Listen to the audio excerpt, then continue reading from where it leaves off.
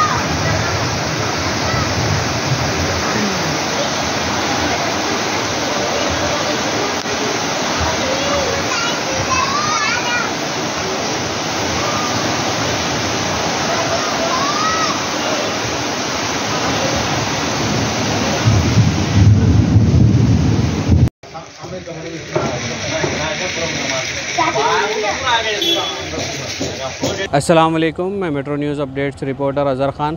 शहर महबूब नगर में आज हुई मौसलाधार बारिश के बाद कई इलाके झील में तब्दील हो चुके हैं।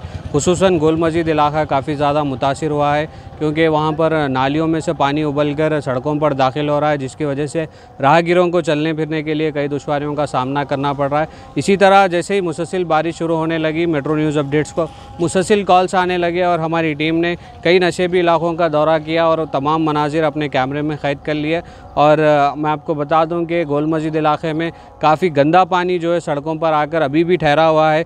जिससे चलने फिरने के लिए मुश्किल हो रही है, आमद व रफ्त बंद हो चुकी है और इसी तरह शहर महबूब नगर के मिनी टैंक बंड पर भी पानी जो है सड़कों पर दाखिल होकर एक ही जगह जमा हो गया, जहाँ पर चलने फिरने के लिए कई मुश्किल का सामना करना पड़ रहा है। नाजरन, मैं आपको बता दूँ कि इस मिनी टैंक बंड पर कई ऐसे हज़ारों के व्हीकल्स यहाँ से गुज़रते हैं और इसी तरह महबूब नगर के बी रेड्डी कॉलोनी में भी पानी जो है काफ़ी हाइट तक जमा हो गया और घरों में दाखिल हो रहा है जिससे लोगों को कई दुशारियों का सामना करना पड़ रहा है। इसी तरह के तमाम शहर महबूब नगर के मुख्तलिफ़ इलाकों के मनाजिर में आपको ग्राउंड रिपोर्टिंग करते हुए आपको बता रहा हूँ और भी अपडेट्स के लिए आप हमारे साथ बने रहिए।